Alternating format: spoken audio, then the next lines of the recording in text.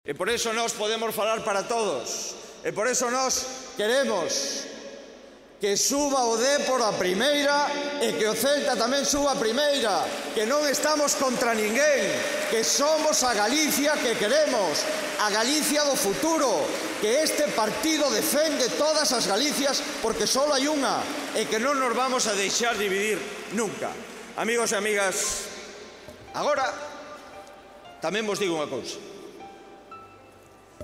Tamén vos digo que temos crecido. Temos crecido como partido. Temos crecido en unidade. Temos crecido e solamente me reitero coas alcaldesas e os alcaldes que falaron. Temos crecido en madurez. Somos mellores que cando empezamos. Sabemos gobernar máis que cando tomamos posesión. Entendemos máis a Galicia e a Coruña e a Ferrol e a Santiago e a Ribeira e a todos os concellos e a Melide o entendemos moito máis que cando nos deron a posibilidade de gobernar. Amigos, estamos máis preparados para gobernar que nunca.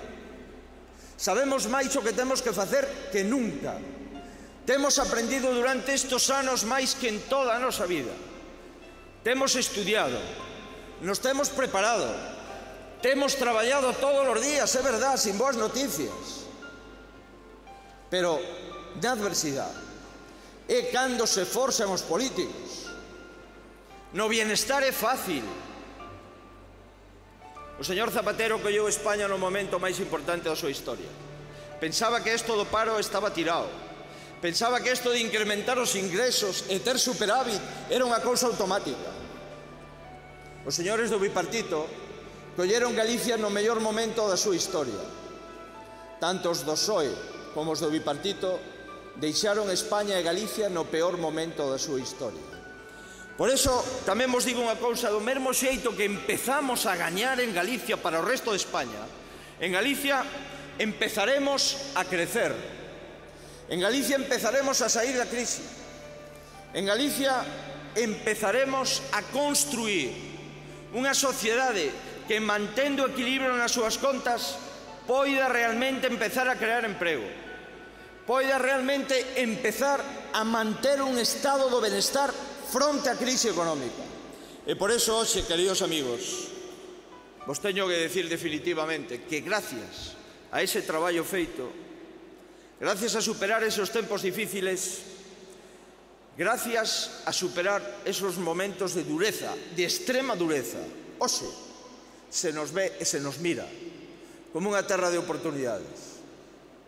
E tamén me comprometo, me comprometo que nesta terra de oportunidades que é Galicia, este partido, este partido que é o noso, no que militamos, no que simpatizamos, o que defendemos nas cafeterías, o que defendemos nos lugares de traballo, o que nos defendemos cando estamos con nosos amigos que non pensan como nós, os que defendemos as ideas e os principios e o que facemos a pesar de que haxa xente que non o entenda hoxe porque estamos convencidos que o entenderá mañá.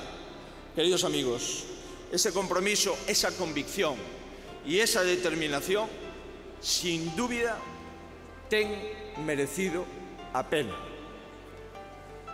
E por eso, máis que nunca, vos digo que con máis forza que nunca cumpliremos os nosos compromisos.